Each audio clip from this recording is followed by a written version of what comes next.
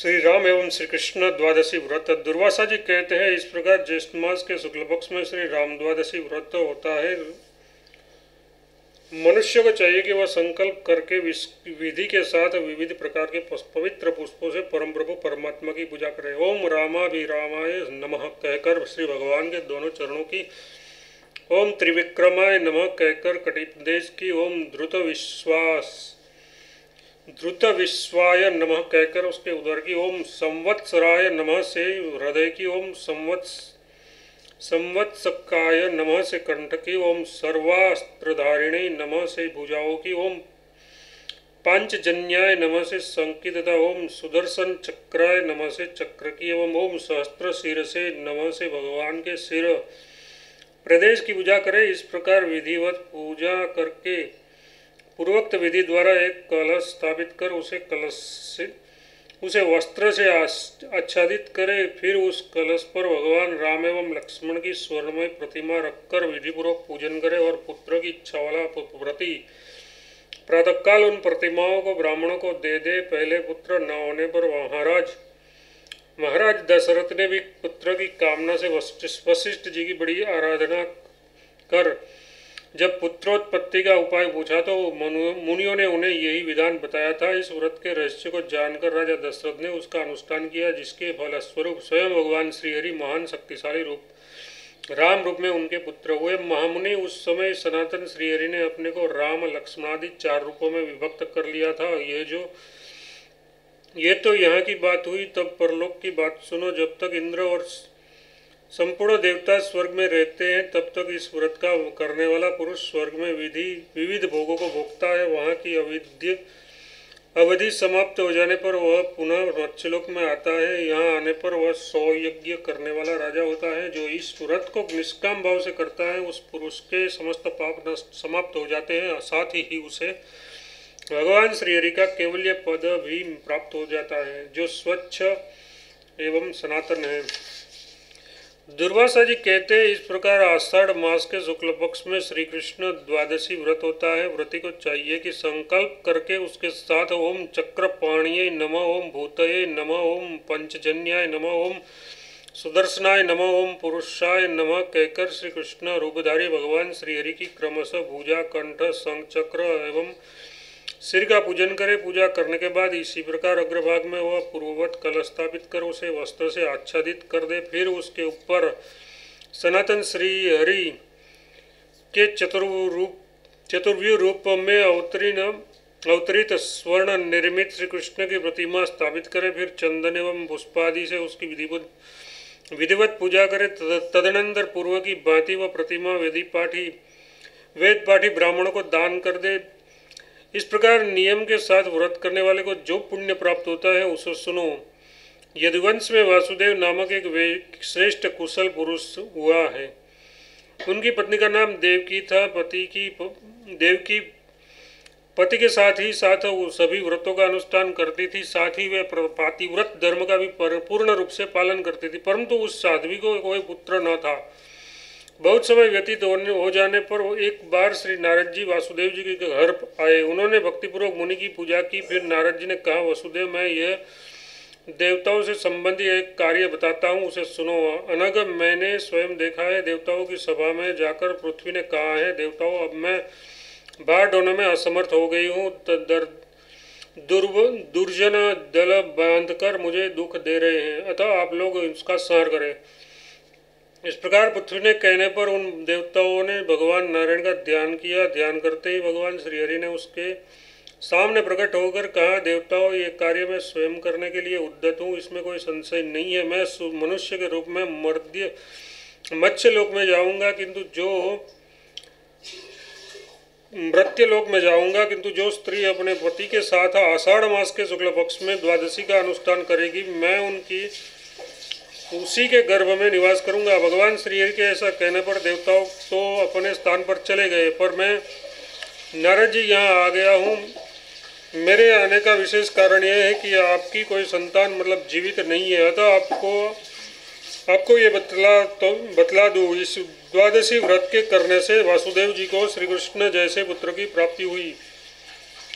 साथ ही उन यदुश्रेष्ठ को विशाल वैभव भी प्राप्त हो गया। जीवन में सुख भोग कर अंत में वे भगवान श्री हरि के परम धाम को गए। मुनि आषाढ़ मास में आने वाली द्वादशी तिथि व्रत की यह विधि मैंने तुम्हें बता दी। अध्याय 45 46 फिनिश बुद्ध द्वादशी व्रत दुर्वासा जी कहते हैं, मुने मार्क्स श्रावण मास के शुक्ल पक्ष में द्वाद एकादशी के दिन बुद्ध व्रत करने का विधान है।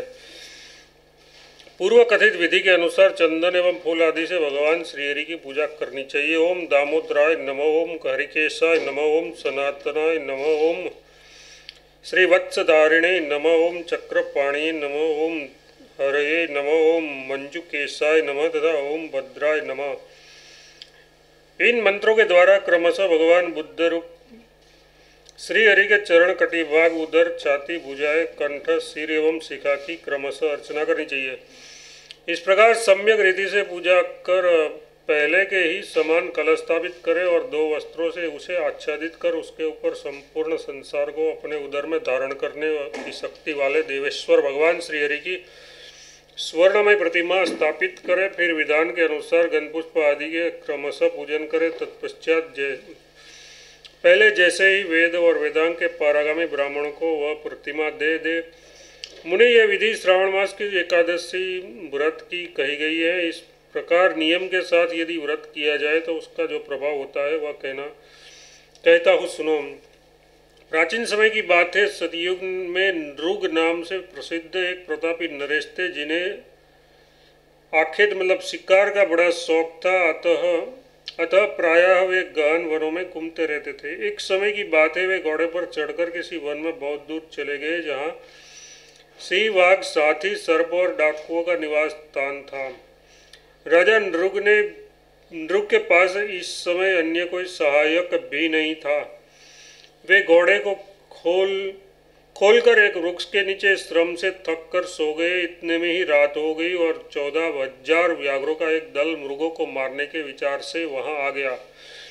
व्याघ्रों ने देखा, राजा सोए थे, सोए हैं, उसका शरीर सोने और रत्नों से सुशोभित है, लक्ष्मी उसके अंग अंग की शोभा बढ़ा रही है, अतः वे सभी अधिक तुरंत अपने सरदार के पास गए और उसे उसकी सूचना दी स्वर्ण और रत्नों के लोभ में पड़कर वह सरदार भी राजा नृप को मारने के लिए उद्दत हो गया और वे व्याघ्र हाथ में तलवार लेकर उन सोए हुए राजा के पास पहुँच गए। वे उन्हें पकड़ना ही चाहते थे कि राजा ने शरीर से सहता सहसा चंदन माल्यादि से अभिभूषित एक स्त्री प्रकट हो गई। उसने चक्र उठाकर सभी व्याघ्रों तथा मलेच्छों को मार डाला। उसका उसका वध कर वह देवी उसी क्षण पुनः राजा नृप के शरीर में क्षमा गई। इतने में राजा भी जग गए और देखा कि मलेच्छ नष्ट हो गए और देवी शरीर में प्रविष्ट हो गई है। प्रविष्ट हो रही है। अब राजा घोड़े पर सवार होकर वामदेव जी वामदेव जी के आश्रम पर गए और उन्होंने भक्तिपूर्वक उन्होंने उनसे पूछा, भगवान, ये स्त्री कौन थी और तथा मैं, वे मरे हुए व्याघ्र कौन थे? आप मुझ पर प्रसन्न होकर इस आश्चर्यजनक घटना का रहस्य बताने की कृपा कीजिए, देव वामदेव जी बोले, राजन, इसके पूर्व जन्म में शुद्र जाति में तुम्हारा जन्म हुआ था। उस समय ब्राह्मणों के मुख से तुमने श्रावण मास के शुक्ल पक्ष की एकादश द्वादशी व्रत के अनुष्ठान की बात सुनी और राजन बड़ी श्रद्धा के साथ विधिपूर्वक उस तुमने उत्सव उस दिन उपवास भी किया। अनग उसी का परिणाम है कि इस समय तुम्हारे राज्य उपलब्ध हुआ है। वही द्वादशी देवी संपूर्ण आपत्तियों में साकार होकर तुम्हारी रक्षा करती है। उसके प्रयास से ही गौर पापी एवं निर्दयी मलेच्छ जीवन से आद धो बैठे हैं। राजन श्रावण मास की ये द्वादशी ही तुम्हारी रक्षिका है। इसमें इतनी अपार शक्ति है कि सहसा प्राप्त विपत्ति काल में भी तुम्हारी रक्षा हो जाती है। और इसकी कृपा से तुम्हें राज्य भी सुलभ हो गया है। अब जो बारह मासों की द्वादशी करते हैं, उसके पुण्य का तो कहना ही क्या है? उसके प्रभाव से तो मानव इंद्रलोक तक पहुँच जाता है। अध्याय फोर्टी सेवन समाप्त।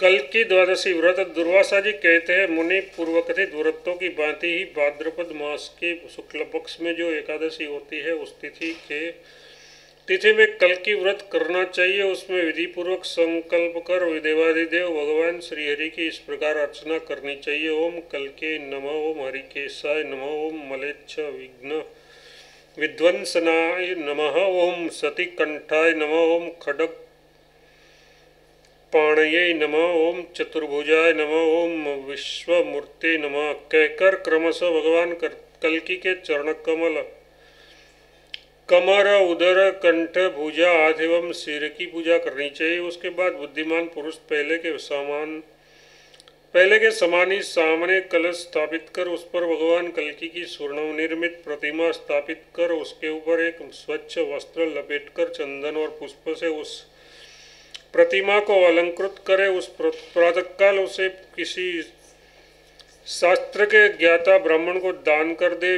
मुनिवर इस प्रकार ये व्रत करने पर जो फल प्राप्त होता है, उसे सुनो। बहुत पहले काशीपुरी के विशाल नामक एक पराक्रमी राजा थे। बाद में उसके गोत्र के व्यक्तियों ने ही उसके राज्य को छीन लिया। अब वे गंधमादन पर्वत के पवित्र बदरी वन में बदरी वन के क्षेत्र में चले गए और तप करने लगे। इसी समय किसी दिन श्री नर नारायण नामक पुराण एवं परम प्रसिद्ध ऋषि वहाँ पधारे। उन दोनों देवताओं ने जिन्हें संपूर्ण देवगण नमस्कार करते हैं और जिनके आगे किसी की शक्ति काम नहीं देती, उस समय राजा विशाल को देखा और मन में विचार किया कि ये राजा बहुत पहले से यहाँ आए हैं और पर हम परमात्मा विष्णु का निरंतर ध्यान कर रहे हैं। अतः नर नारायण ने प्रसन्न होकर उन निष्पाप नरेश से कहा, राजेंद्र, हम लोग तुम्हारी कल्याण कामना से वर देने आए हैं। तुम हमसे कोई वर मांग लो। राजा विलास विशाल ने कहा, आप दोनों कौन है? ये मैं नहीं जानता, फिर किसके सामने वर पाने की प्रार्थना करूँ? मैं जिसकी आराधना करता हूँ, मेरी उन्हीं से वर प्राप्ति की हार्दिक इच्छा है। राजा के इस प्रकार कहने पर नारायण नर नारायण ने उससे पूछा, राजन, तुम किसकी आराधना करते हो?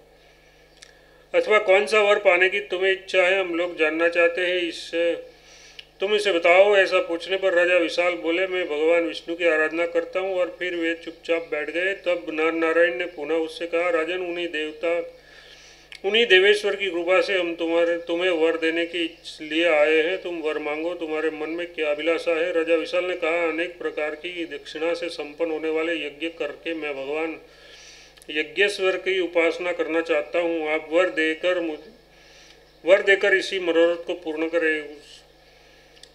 उस समय राजा के पास नर नारायण दोनों भगवान नर और नारायण दोनों महाभाग विराजमान थे। उन, उनमें से नर ने कहा ये भगवान नारायण है अखिल जगत को मार्ग दिखाना उनका प्रधान काम है संसार की सृष्टि करने में निपुण है ये। निपुण ये प्रभु मेरे साथ तपस्या करने के विचार से इस बद्री बद्री वन में आ गए हैं। मत्स्य कश्यप वरा नृसिंह वामन और परशुराम इन सब रूपों से पूर्व समय में इसका अवतार हो चुका है। इनकी शक्ति अप, अपरिमयी है फिर ये भी फिर ये ही महाराज दशरथ के घर राजा राम हुए। इस समय इसका रूप महान आकर्षक था। उस समय उसका रूप महान आकर्षक था। उस समय मलेच्छ राक्षस को मार, राक्षसों को मार पृथ्वी का भार दूर कर दुखी, सुखी किया था। कभी पापियों से भयभीत होकर नर समूह ने उसकी स्तुति की थी। उस अवसर पर उन्होंने नरसिंह रूप से अवतार लिया था। बलि को मोहने के निमित्त वामन तथा क्षत्रियों के हाथ से राज्य वापस करने के लिए परशुराम ये बन चुके हैं दुष्ट शत्रुओं को दमन करने के लिए। उन्होंने कृष्ण का अवतार धारण किया है।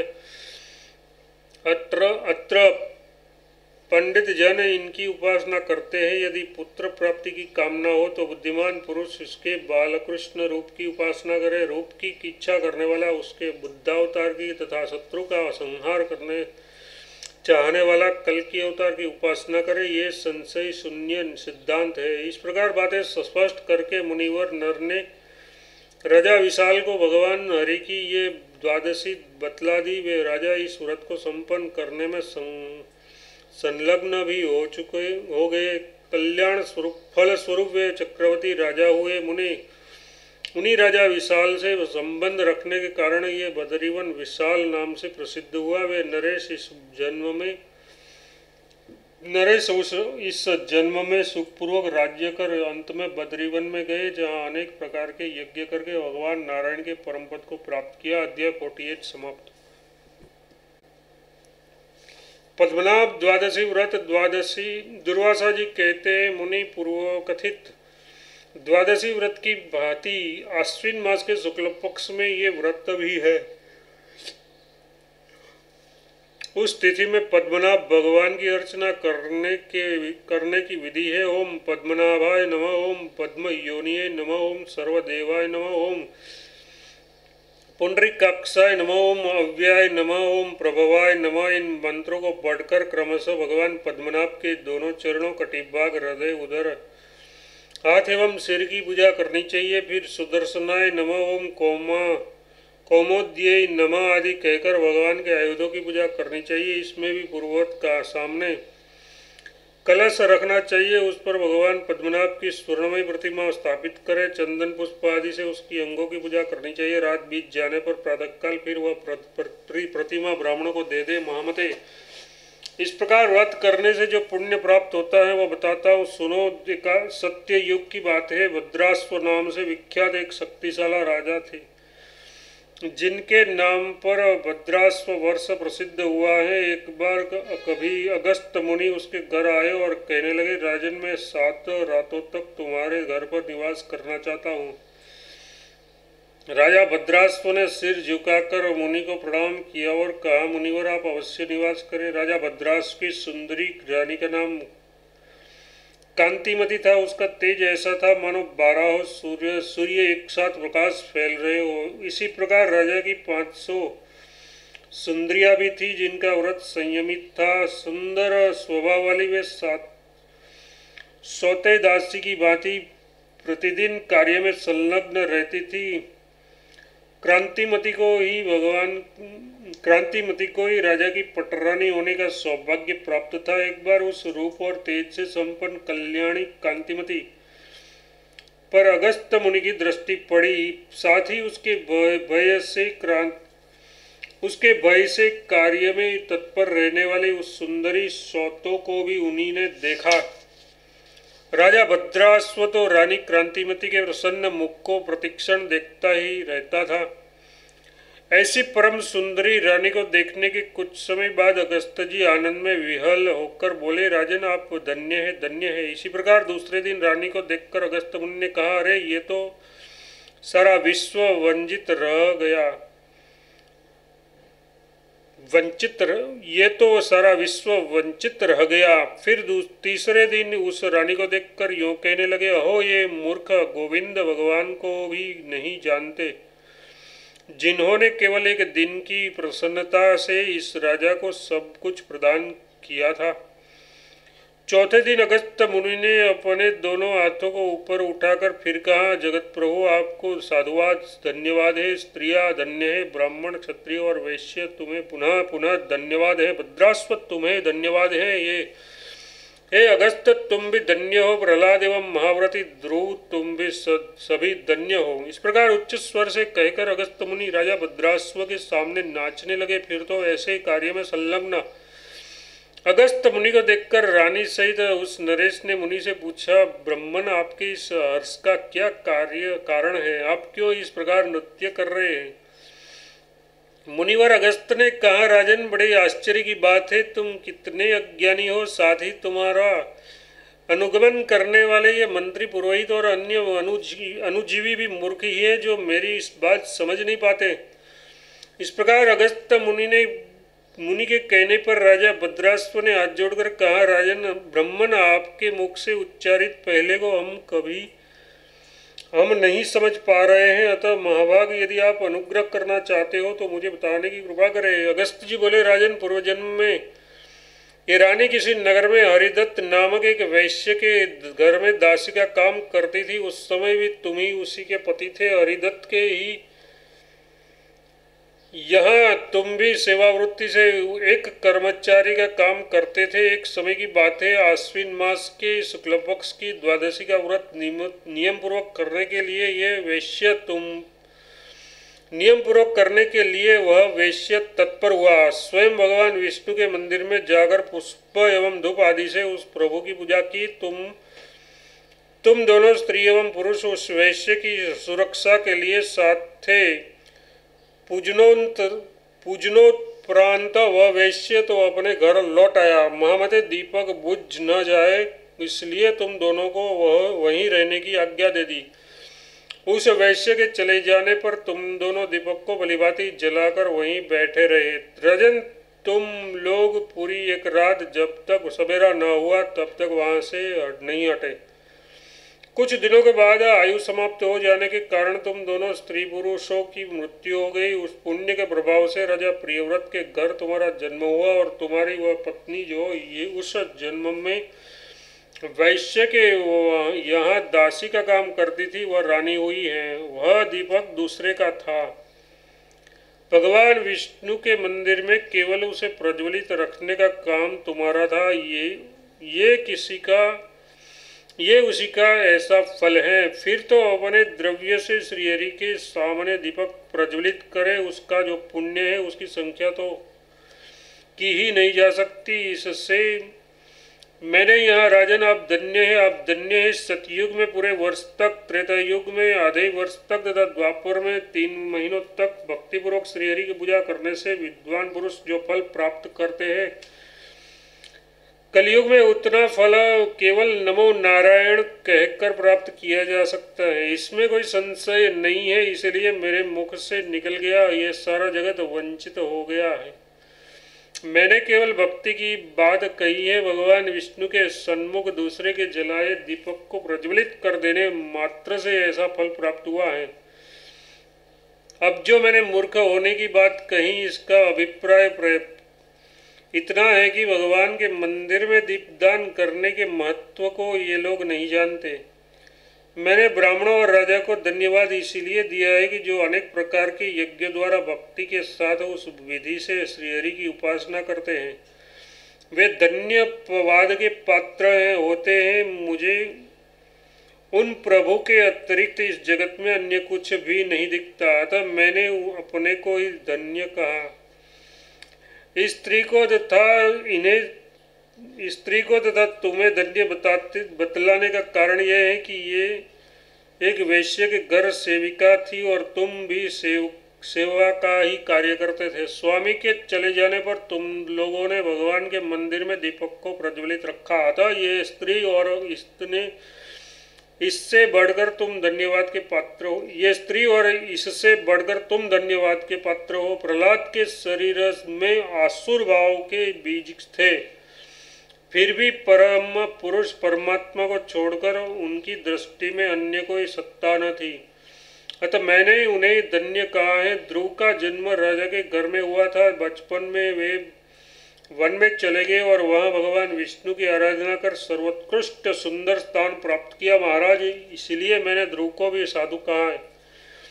अगस्त जी से राजा भद्रास्व ने संक्षिप्त रूप से उपदेश देने की प्रार्थना की थी।